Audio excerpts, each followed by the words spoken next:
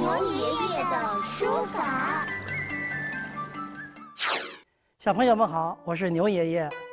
牛爷爷好，很高兴今天能来跟您学书法。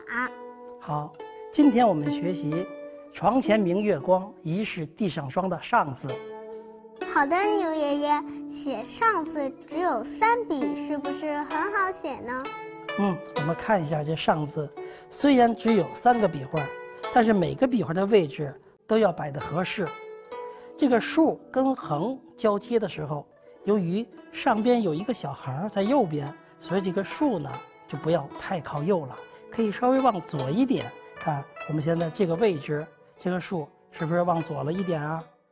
这个小横跟这个长横之间呀，空当然不要太小，太小了就挤了。所以它们俩距离可以稍大一点。再有这个长横，前边是向上走，过了中线以后呢，就别老往上了，总是往上，这个字就斜了。过了中线，可以稍稍的往下压一点。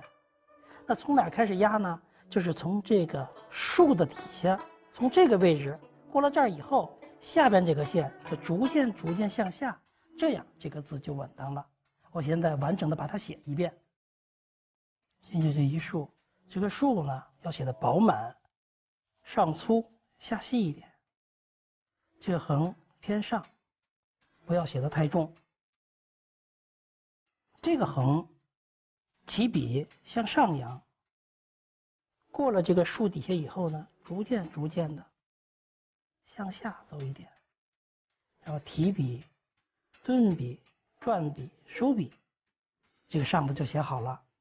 木心小朋友，你学会了吗？谢谢牛爷爷，我学会了。这就是好好学习、天天向上的上字。大空间，